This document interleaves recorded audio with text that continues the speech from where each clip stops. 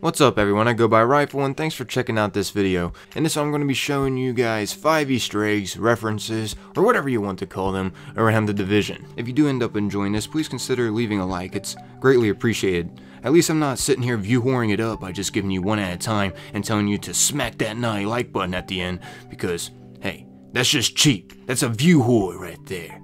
And I'm not being like that. I'm giving you guys a bundle because bundles seem to always be better. So anyways, let's get started. The first one I'm going to be starting with is a Teenage Mutant Ninja Turtle Easter egg. This one is subliminally referencing Michelangelo out of the Teenage Mutant Ninja Turtle crew. If you come around here on the map, right beside this Kerman coffee shop, you can find some nunchucks laying on top of a pizza box that says Radical. Now this is either a highly coincidental setup here, that someone else had some nunchucks with a pizza, or this is referencing Michelangelo's weapon choice with of course how the whole Turtle Squad loved pizza. That's radical, dude. Up next though, I have you a very simple one to find in the base of operations, otherwise known as Boo. I'm just playing, I hope you don't call it that. Anyways, when entering this place, first thing to your right, if you come over here, in the corner of this desk, you can find some night vision goggles that look very similar to the night vision goggles in Tom Clancy's Splinter Cell. Up next though, when on the mission Subway Morgue for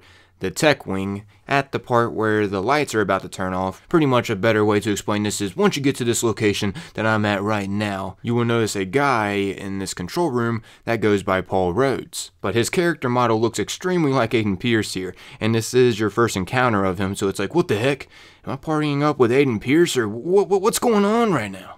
Have to say that would be pretty badass, but Nah, by the looks of him close up, this guy looks as if he's Aiden Pearce's grandpa or something. But you cannot say right now when you're first encountering him and saving him from this place that he does not look like Aiden Pearce. And not to mention, when you do go up to him in the tech wing, he does kind of look like him. If Aiden Pearce, you know, gained a few years and grew out a beard, that is. But all in all, it does make sense that Ubisoft would throw in a character that looks highly like Aiden Pearce. After all, Ubisoft did create Watch Dogs, and Ubisoft did create the division. So on that note, they do go hand in hand and it does make sense. Anywho, this next one is an Adventure Time Easter egg and it's located right around this area on the map. Once you get here, you just want to head into this park area and you will notice the art on the wall is actually the Adventure Time art. I mean, it is highly similar and colorful, and to me, I think this is referencing Adventure Time. And if you head over here to the right of this wall, you can see a sign that says, Don't be a fool, stay in school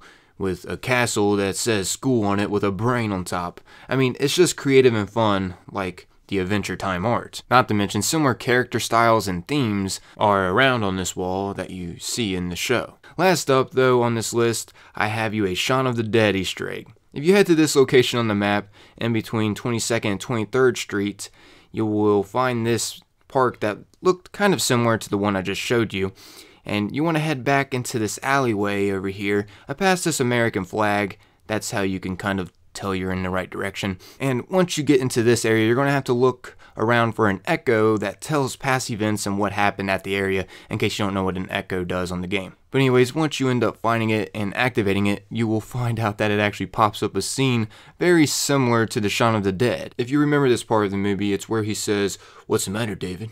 Never taken a shortcut before. Then he goes to hop over the fence and the fence just falls. He doesn't die in the movie, but this is pretty much the same thing that happens in the movie. And as you guys can see, his name is Sean here, except the person that he's talking to is Deborah, not David. But yeah, if you want to see that scene for yourself, I'll leave a link to that in the description. It's one of those you have to see it for yourself to laugh. I'll go ahead and replay this for y'all so you guys can listen in on what this echo says.